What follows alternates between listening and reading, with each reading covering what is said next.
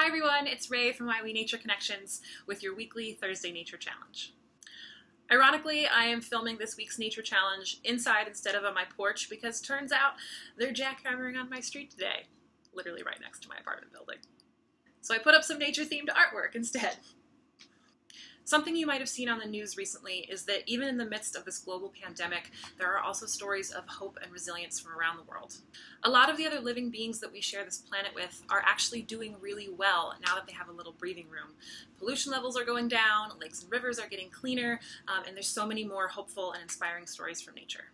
There is so much chaos and uncertainty and fear right now, but there's also an opportunity to look forward and ask how we want our future to look different from our past and present.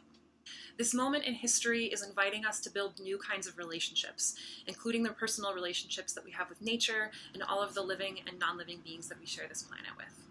No matter how much or how little you already feel connected with nature, this is a chance to deepen and strengthen that relationship and keep finding new stories of hope and beauty and strength and resilience in that connection. So the nature challenge this week is one that is deeply personal.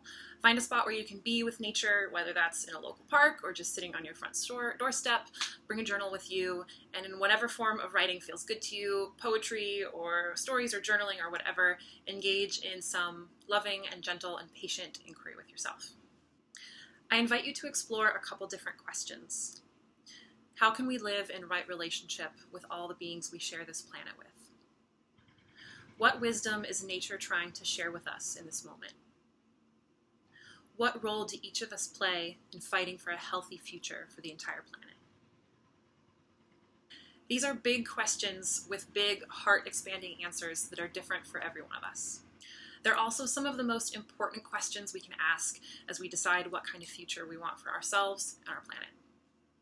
So, with that, I send you all lots and lots and lots of love, and I hope that you have a beautiful day.